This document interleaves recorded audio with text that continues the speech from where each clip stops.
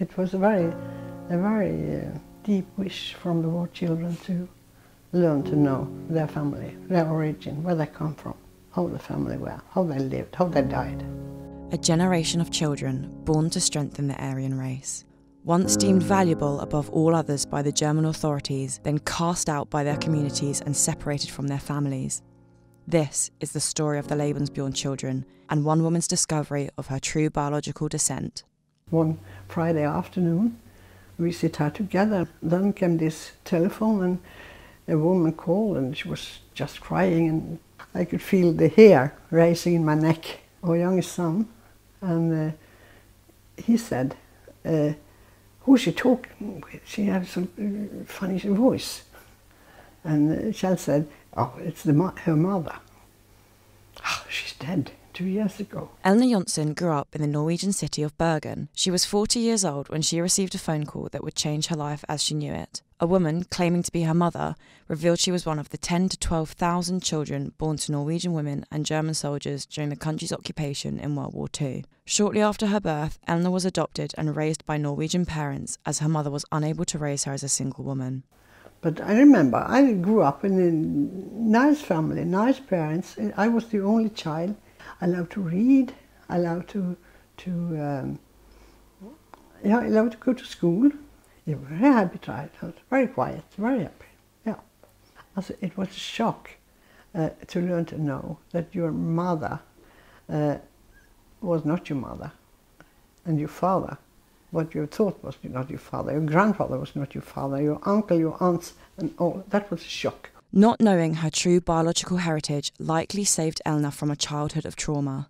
The children born during the reign of the SS initiated Lebensborn organization were highly valued by the German authorities for their Aryan physiological traits. As such, during the war, they were looked after in various German owned Kinderheims or children's homes. It was surprisingly after the war that these so called children of the enemy were outcast by their communities and subject to many forms of abuse. Ingvar Nedrebø, the director of the Regional State Archives, explains what happened to the children post war.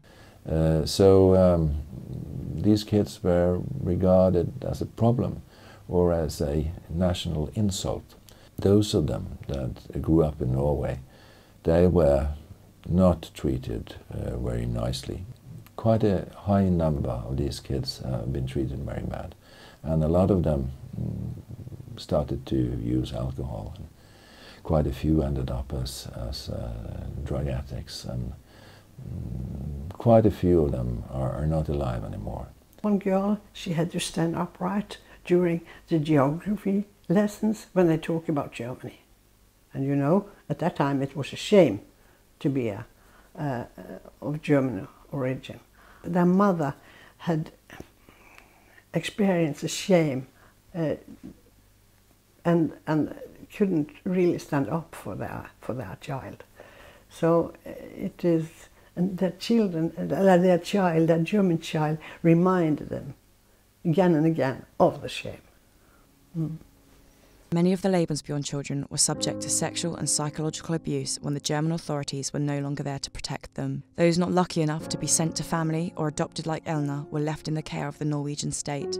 Some young children found themselves in institutions growing up amongst mentally ill adults. Others were tested on with harmful drugs, and some will march down the streets to face locals hurling abuse at them. Elna does not consider herself a Lebensborn child, as she was not registered under the initiative at birth. She does, however, identify as a war child and has had a lucky escape from what the Lebensborn children endured. Only this year has Prime Minister Erna Solberg issued an apology for the misery they endured then and those still alive feel today. Sadly, many died long before this admittance. And that's why uh, Erna Solberg gave her apology for about 14 days ago. They really are hurt. I don't think any excuse can help them, really. I don't think so. No. But I also think it's good that there is a, have been given an excuse and that it is accepted that it wasn't right to treat them like that. The war children still alive think only one good thing can come of this learning from the neglect they suffered and ensuring the same thing doesn't happen to children across the world today. It's the only reason I can think there's come something good of, of this is that uh, one can learn to, to protect them as the, the children of the enemy in their own environment. Looking through a book of dark images of children in kinderheims and Norwegian mothers soon to be ostracised from the communities in their home country serves as a stark reminder that the issue of children affected by war, whether in direct conflict zones or as a ripple effect of social condemnation, is one that is continually repeating itself throughout history. James Denslow, head of conflict and humanitarian policy and advocacy for Save the Children, explains that children themselves often face the biggest loss of all in war the loss of their childhood? I mean, from my perspective, one of the most powerful elements of what you're, what you're seeing, what we're seeing around these large numbers of children affected by conflict, is not just the, the physical and the, and the mental uh, kind of scars that they carry forward, but it's the very loss of childhood itself. And there's a myriad of challenges that children face in conflict, and unfortunately, they do carry them on to, to when they become adults.